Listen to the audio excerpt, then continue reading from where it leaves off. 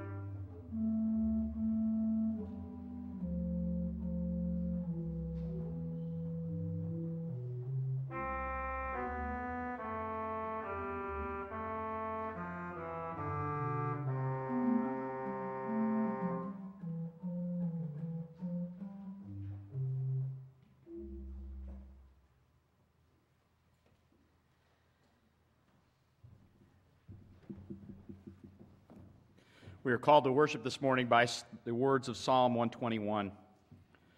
I lift up my eyes to the hills. From where, where will my help come? My help comes from the Lord, who made heaven and earth. He will not let your foot be moved. He who keeps you will not slumber. He who keeps Israel will neither slumber nor sleep. The Lord is your keeper.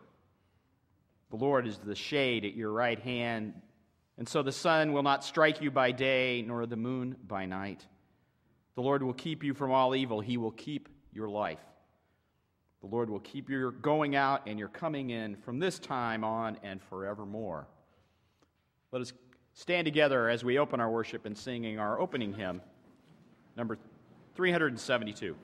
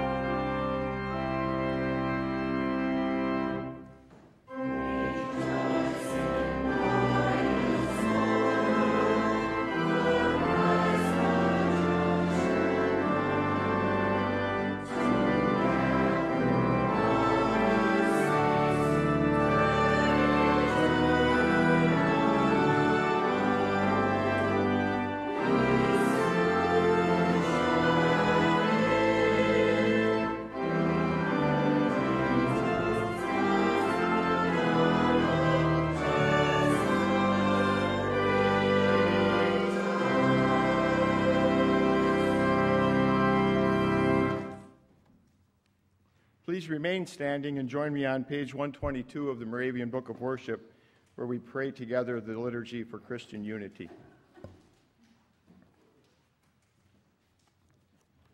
Almighty God, you are the one who called this universe into being. Out of nothing, you created everything that is. By your power, you hold together all space and time and substance. By your hand alone, Creator God, the inanimate elements became alive so that we could live and move and have our being. We celebrate life, the precious life you have given us, and we celebrate that unity of mind and emotions, of body and soul, that you want us to enjoy and share with each other. We rejoice in the centrality of Jesus Christ in all your works for he was with you from the very beginning and is supreme over all creation.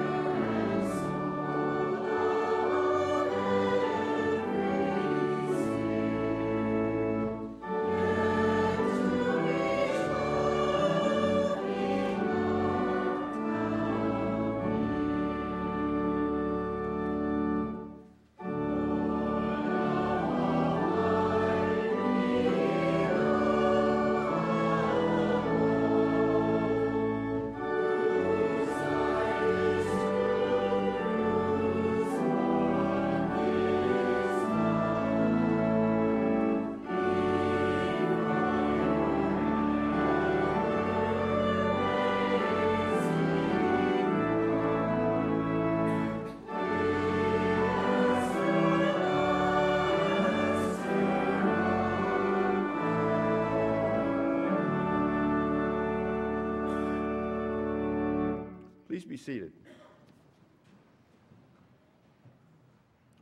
We know that we will remain less than the whole persons you have called us to be in Christ Jesus until we acknowledge our sins to you. And so we bow before you and pray. Almighty God,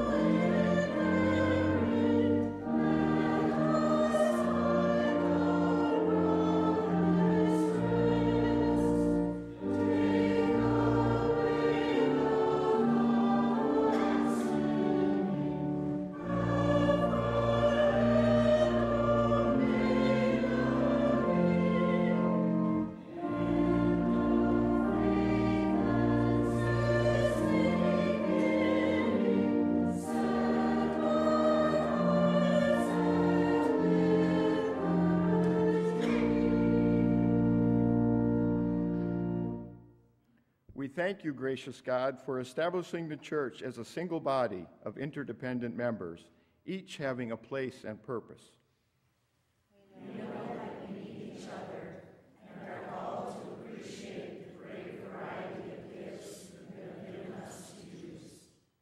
Help us to rejoice with those who are feeling joy and delight.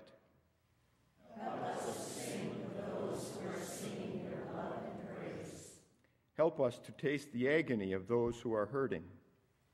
Help us to share the burden of those who are in distress. Take away jealousy and resentment from our hearts when we see others having success.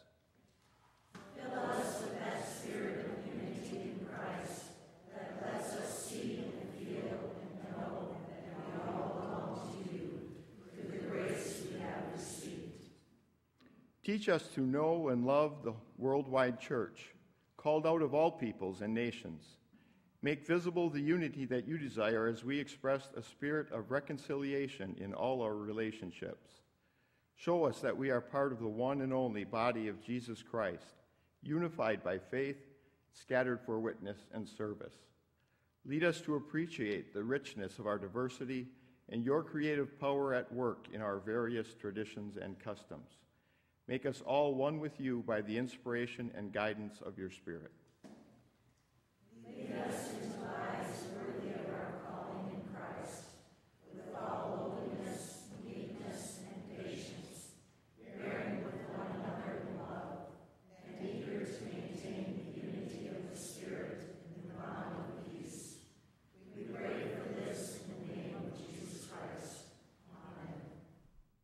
As a symbol of our Christian unity, let us stand and greet each other with the right hand of fellowship.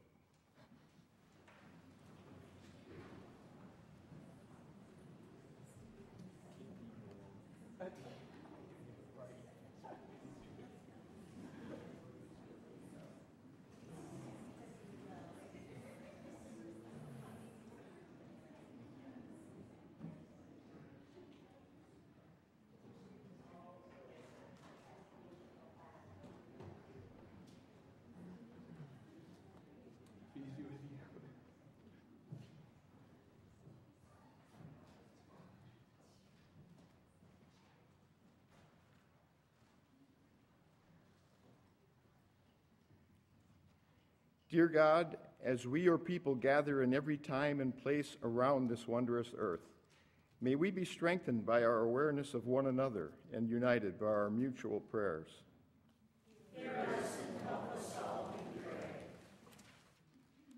May the variety of traditions and customs of your whole church become a multitude of lights to reveal the good news needed by people everywhere.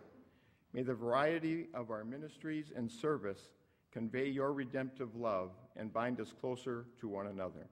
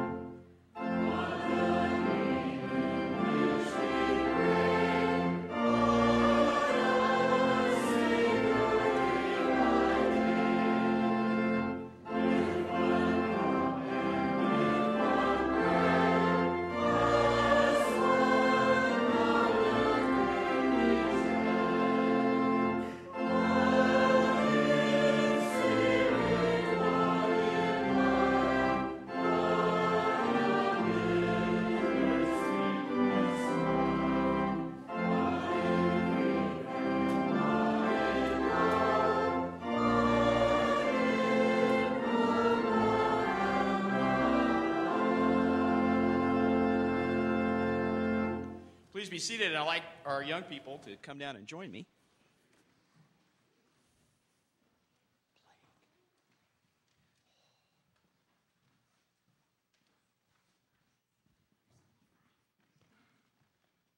Thank you. I was getting lonely up here. Here we go. Just in time. You got to play.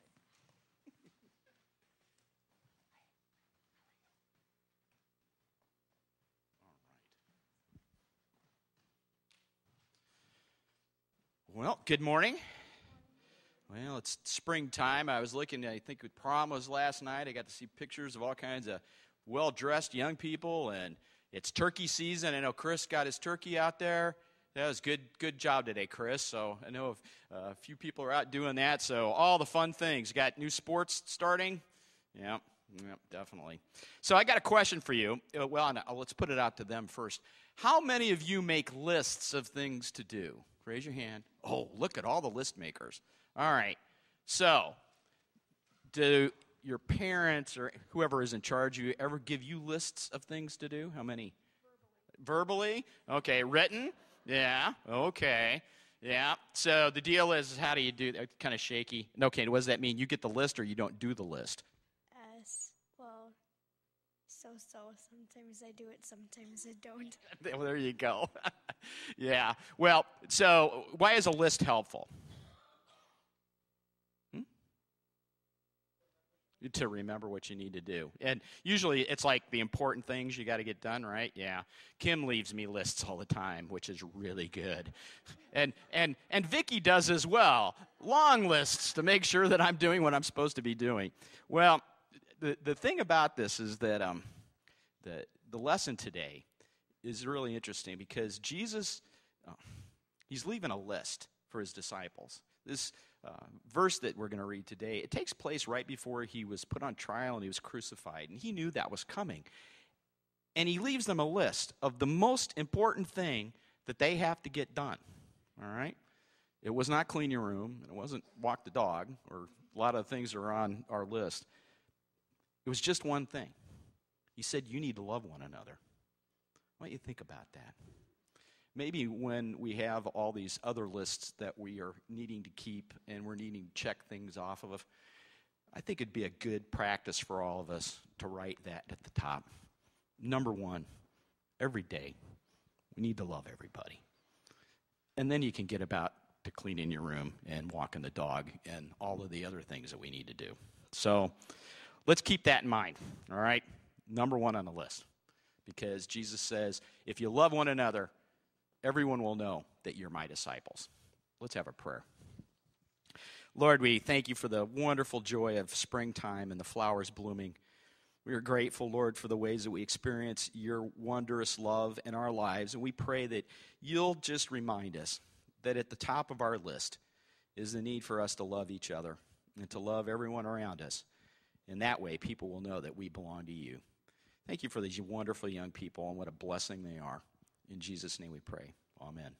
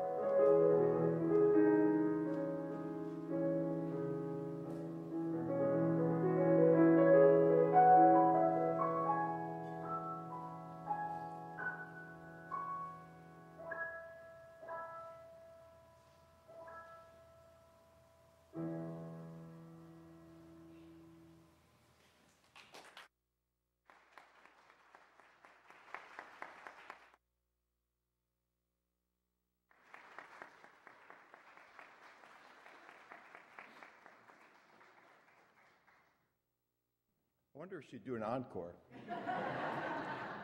that was beautiful. I thought I'd take just two minutes to give you a seminary student update since I had the mic this morning. Um, some of you know some of this story, and I'll keep it short, I promise. But when James left for college, he left in all honesty so that he could join his brother and be a runner. He had absolutely no idea what he should major in. Uh, and after struggling with that for, for a year, he was very frustrated. And so, talking to his dad, who was a businessman, we decided how about just a general business degree and we'll move from there. Well, he got his degree with his minor in Spanish, went out in the business world, and of course, you know the rest, that wasn't his fit. Um, and when he came and talked to Matt about his calling, one of the things in conversation that Matt mentioned to him was, you know, that business degree, that might come in pretty handy when you're running your church. What a baby. uh, I just wanted you to know that this morning, out in Pennsylvania, about an hour before us, because of course they're ahead of us, there's a worship and praise band um, made up of seminary students and faculty. And this morning they had the honor of leading worship at a Hispanic congregation. And our seminarian James sang the vocals in Spanish. Would our ushers please come forward and rescue me?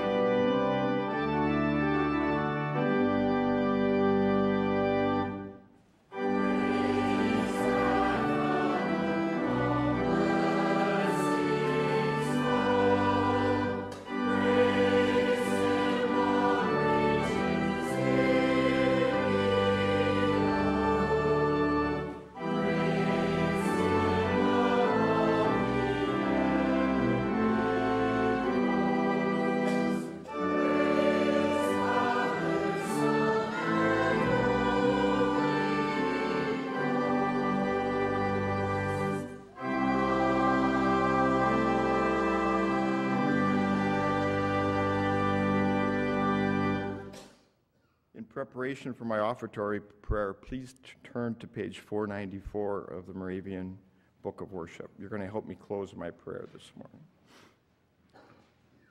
Let us pray. Heavenly Father, we come before you in humility and love. We recognize that you give us gifts that today we may not know we even need. This liturgy for Christian Unity Day that we prayed today is symbolic of how we should live, how we should support each other to do your work. We have several people in our community who are hurting, in need of comfort, in need of our prayers. In our church community, please keep in prayer Lee Peterson, who's in the hospital, Larry Maples, who will be having surgery this week, and Scott and Heidi Bader, who are recovering from their surgeries. Open our minds, open our hearts, Lord, that we feel your presence. Now, congregation, please join me with hymn 494, just verse 1. I'll lead us. Breathe on me,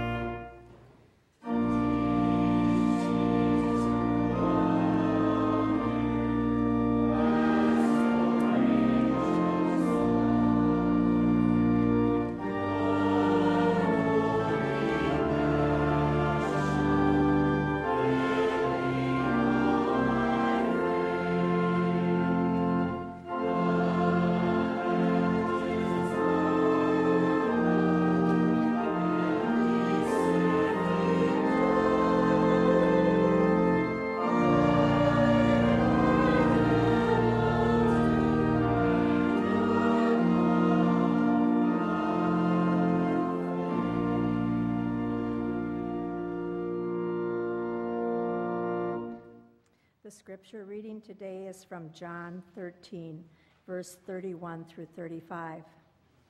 When he was gone, Jesus said, Now is the Son of Man glorified, and God is glorified in him.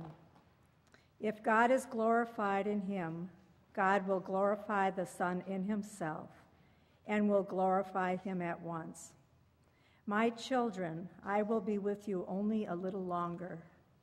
You will look for me, and just as I told the Jews, so I tell you now where I am going, you cannot come. A new command I give you love one another. As I have loved you, so you must love one another. By this, all men will know that you are my disciples if you love one another. This is the word of the Lord.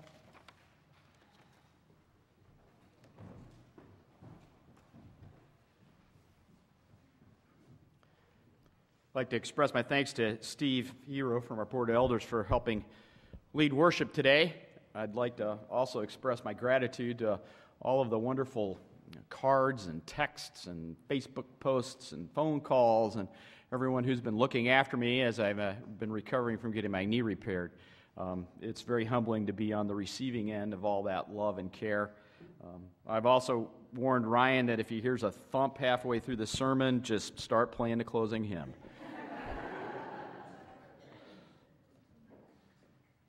As I spoke with the, the children this morning about lists, whenever Kim and I would try to get away, back when all the boys were home, or even if just there was one or two of them there, she's always in this practice of writing them a list. A list of instructions and reminders of the things that are very important that they take care of while we are away. Uh, reminders that uh, are everything from walk the dog to turn off the lights to no 20 minute showers. Um, all of those things that uh, those boys needed to be reminded of. Final instructions. Those important pieces of information that are really vitally important that you need to take care of while we are not with you, while we are not here. Our lesson today contains Jesus' final instructions to his disciples. In a short time, he would be arrested, put on trial, and executed as a criminal.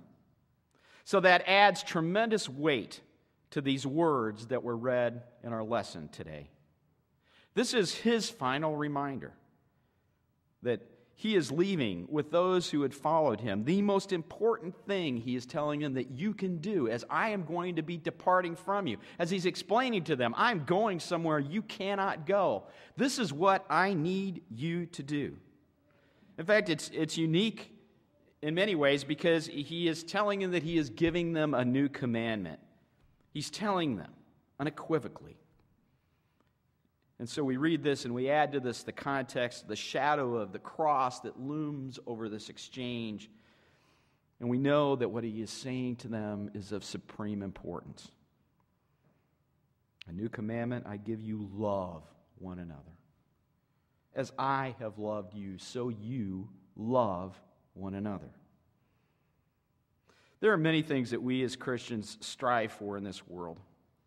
You know, a constant theme in churches these days seems to be a, a, need or a struggle to find guidance or reassurance of what's a congregation's ministry and mission. What is that supposed to be? I've been invited many times to go to many different churches to talk with them about that. And if you consider that, there are untold amounts of money and time and effort and goodwill going into figuring out how we, as followers of Jesus, what we are supposed to be doing. Next weekend, I, along with your congregational delegates, will head down to Mount Morris and we will serve as delegates at the Western District Synod of the Moravian Church. And I promise you, for the next for those four days that we will be down there, we will not only re- wrestle with the governance of the church, but as every synod that I've ever been to in the 30 years of my being a pastor, we will have long conversations about who we are and what are we doing. And so I turn to this verse. Jesus, facing his death, made it pretty simple love one another.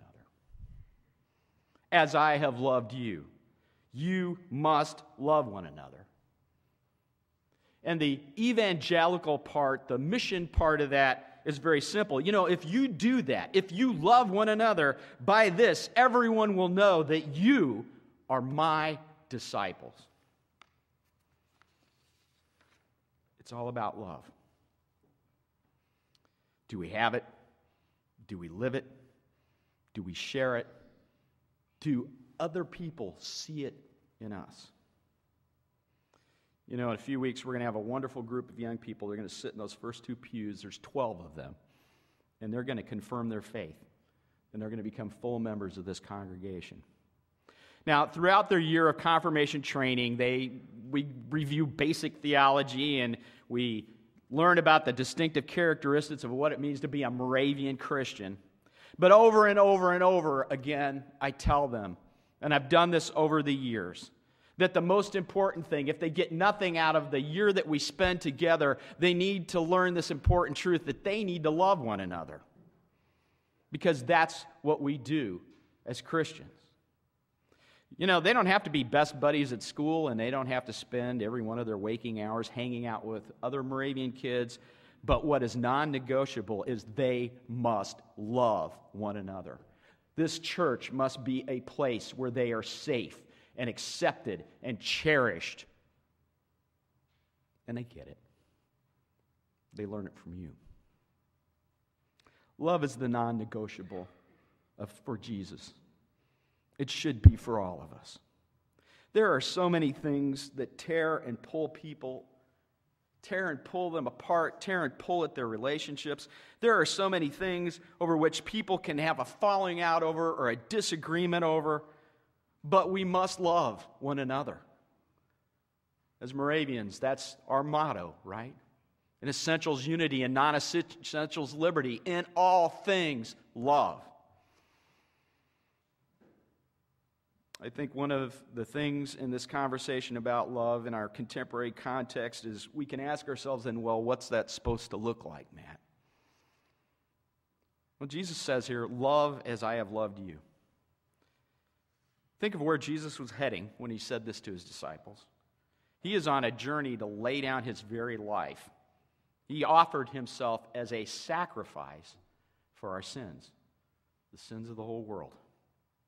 The love he speaks of, friends, is not some warm and fuzzy notion or emotion. It's not some esoteric ideal.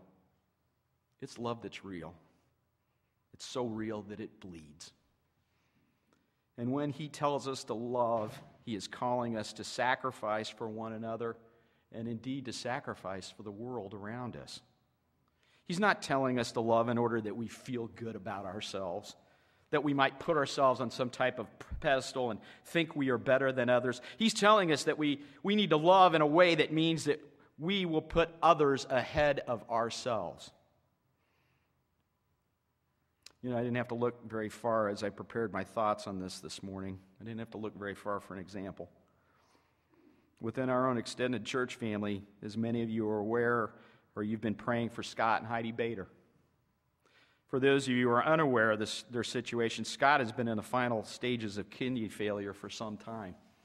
He's been on constant dialysis, and that is the one and only thing that has been sustaining his life. As they waited and they searched, and many prayed for a transplant. This past week, a few days ago, Heidi donated a kidney to someone on that kidney transplant list who she was a perfect match for. In turn, a member of that family donated a kidney to Scott as they were a match for him. What an answer to prayer for both of these families. But what a testimony of sacrificial love that should humble all of us as I say these words and recount what has occurred. This isn't warm and fuzzy talk about love. This is risk and pain and challenge that is driven by love. I'm happy to report things are going well as they recover, and we're so grateful to God. But I want all of us to take to heart that this is the love that Christ calls us to live. That is what Jesus is commanding us to do here.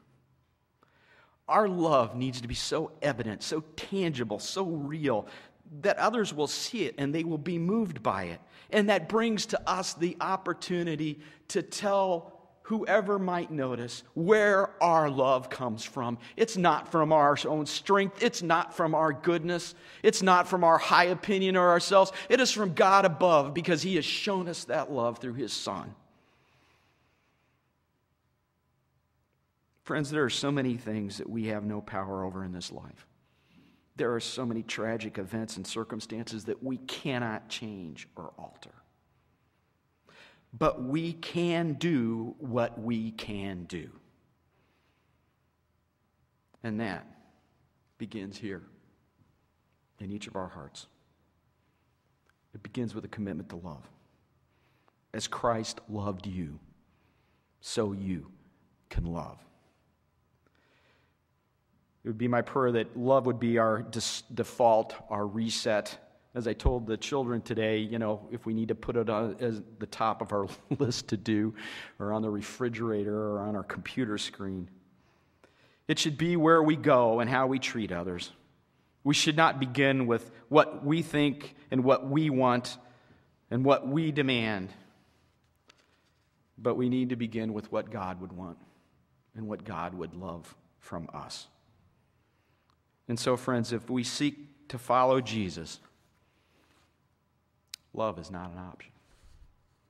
Amen. I invite you to stand as we sing together our closing hymn, Christ High Ascended.